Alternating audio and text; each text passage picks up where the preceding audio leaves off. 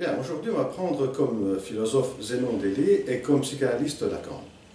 Une petite présentation pour Zénon. Zénon, c'est un philosophe de l'antique euh, Grèce qui est né à Élée vers 490 et 400, mort 430 avant Jésus-Christ.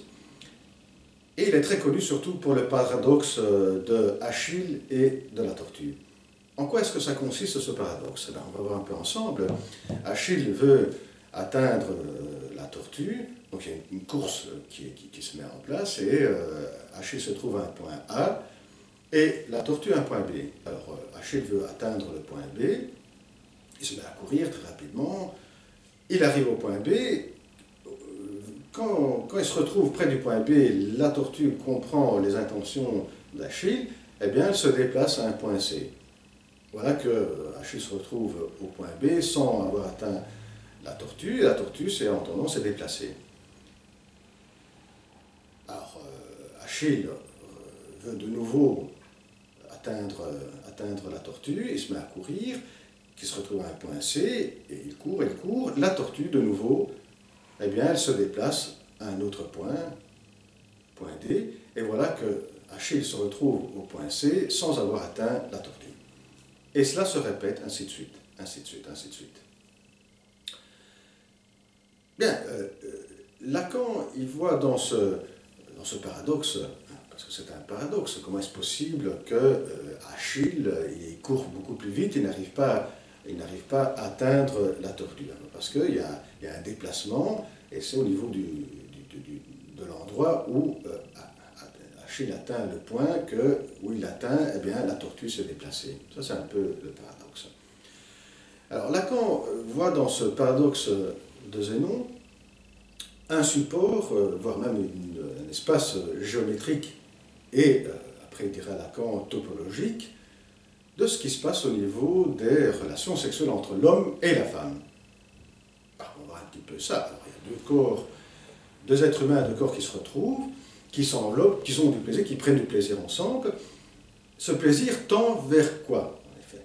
Eh bien, il tend vers une jouissance, une jouissance unifiante, totalisant, une jouissance commune. Alors ça, c'est un peu ce qui, amène euh, ces deux corps à, à, à s'envelopper. Mais voilà que au moment où on s'attend à une jouissance commune, il y a une disjonction, une séparation, un peu comme Achille et la tortue. La Achille se retrouve au point B alors que la tortue se retrouve dans un autre point.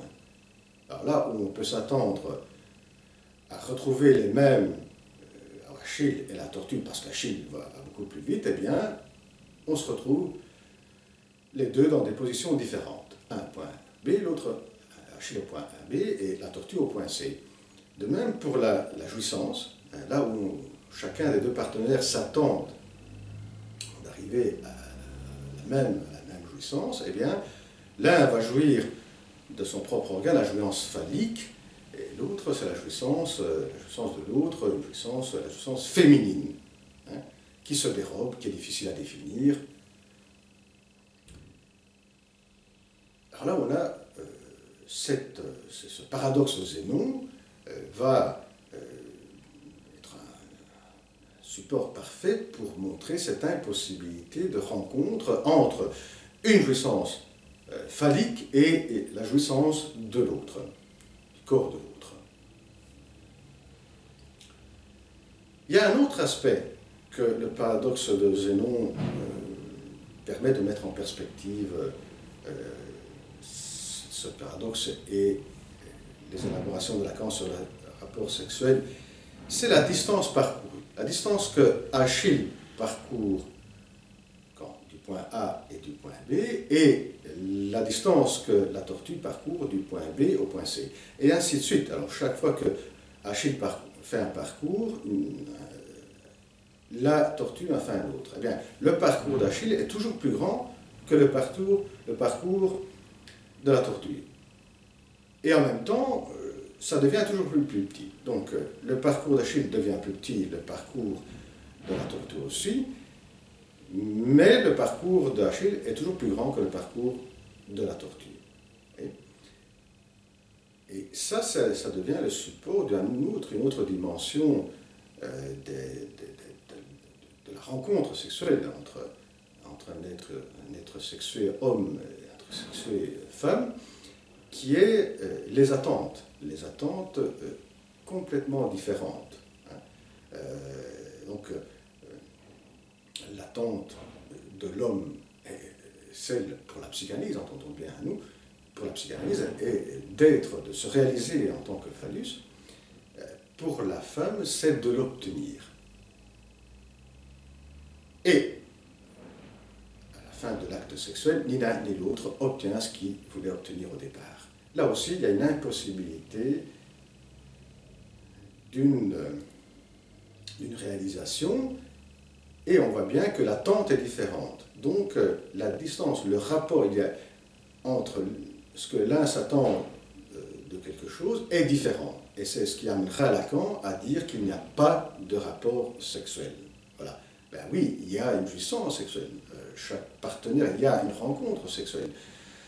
Euh, il y a du plaisir avec une jouissance. L'un obtient une jouissance, l'autre une autre. Ce qu'il n'y a pas, c'est cette rencontre et c'est euh, ce rapport, c'est-à-dire ce que l'un et l'autre s'attendent de euh, la jouissance, de la jouissance sexuelle. Bien, jusque-là, on a mis en perspective les deux, les deux, donc ce paradoxe de, et ses élaborations de Lacan sur la jouissance sexuelle. Lacan, il ira un peu plus loin. il interroge Zénon parce qu'il y a une autre interrogation. Est-ce qu'il n'y a pas euh, sous-jacent à l'interrogation de Zénon une interrogation beaucoup plus, donc une interrogation sur le, calcul infinitésimal, sur ce calcul, sur une fonction mathématique, il n'y a pas une interrogation encore plus profonde qu'une interrogation euh, de l'être euh, sexué sur sa propre jouissance. Et à partir de cette interrogation, on bien se poser la question, c'est ce que Lacan fera, qu'il n'y ait pas effectivement une topologie commune entre le monde mathématique et euh, ce qui est de la, le rapport de la jouissance que peut avoir l'homme ou la femme. Bien, à la prochaine vidéo. Au revoir.